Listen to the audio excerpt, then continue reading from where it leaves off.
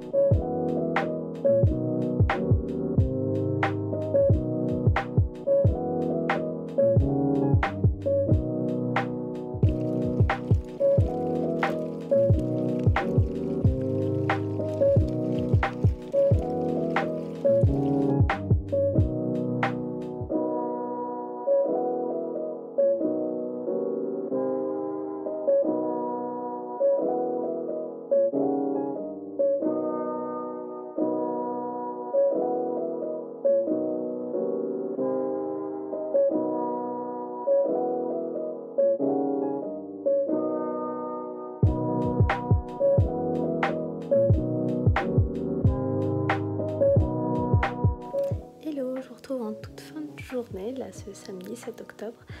Euh, la journée euh, s'est bien passée globalement, mais euh, je manque un petit peu d'énergie. Là, je viens de coucher mon fils il y a une demi-heure et je pense que je ne vais pas trop trop tarder non plus. ce serait plutôt judicieux.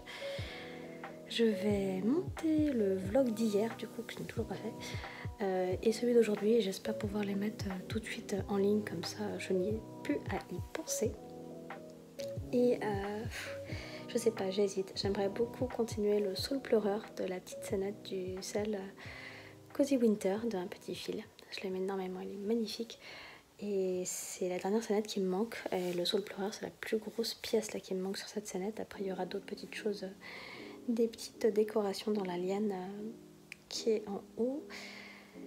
J'aurais bien aimé avancer le mini Melba pour Archie, mais je pense qu'il va falloir que j'arrive à me contrôler et à être raisonnable.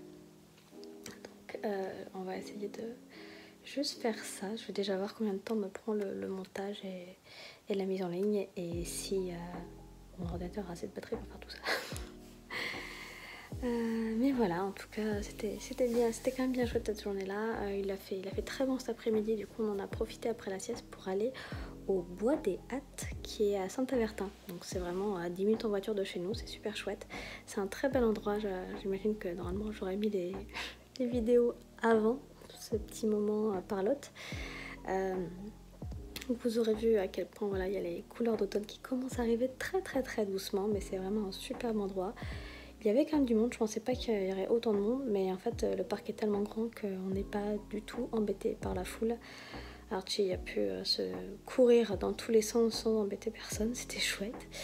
Et je l'avais quand même toujours à l'œil, ça c'est vraiment top. Donc euh, voilà, même pour les enfants, euh, venir faire de la drazienne ou du vélo, clairement c'est un, endroit privilégié. Donc voilà.